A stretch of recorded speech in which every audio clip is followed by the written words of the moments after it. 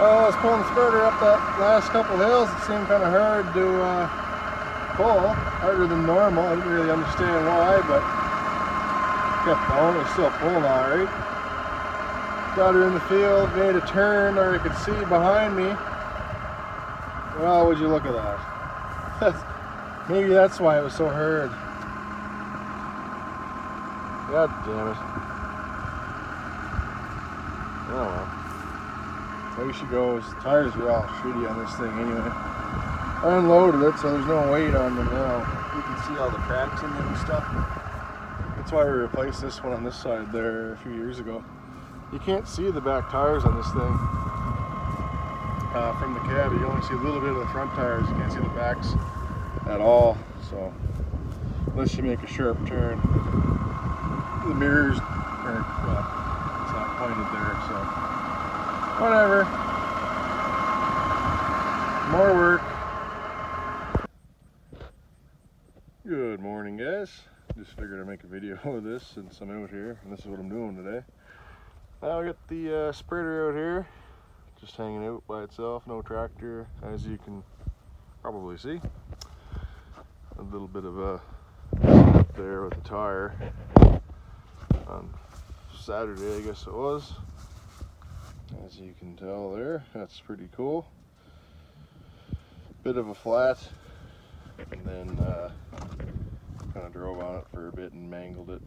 Not that it matters, the tires are shot on this thing anyway. You get some new ones. You can see the cracks in it. And on the other side it's something the same.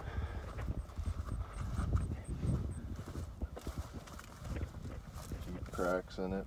This tire we replaced um, not long after we got it. So this one's still good obviously. But yeah, this one is uh, definitely no more good. So we don't want to pu pull it home and you know ruin the rim. So just trying to get it off. We uh, we're trying to chain up the walking beam to try and keep that up, and then haul it home like that. But just wasn't working out for us, so we kind of gave up on that. And now we're just gonna pull the wheel off and take that home. So I'm just doing that. Uh, got the uh, breaker bar there.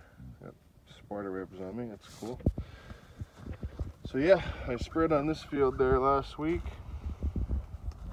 And this is the dirt field. I was just spreading a little bit on that.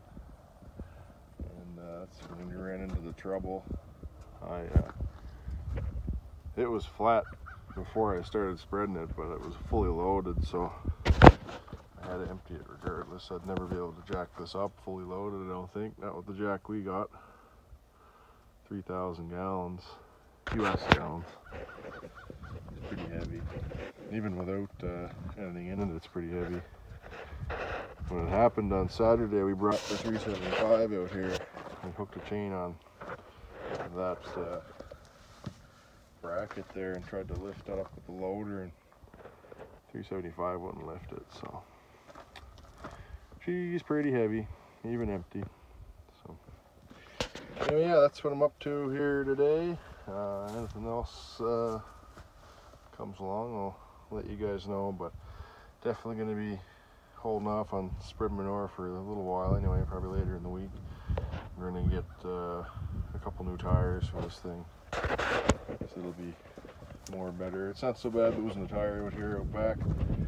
When we're hauling down the road, the public uh, highway, we don't, we don't want nothing like this to happen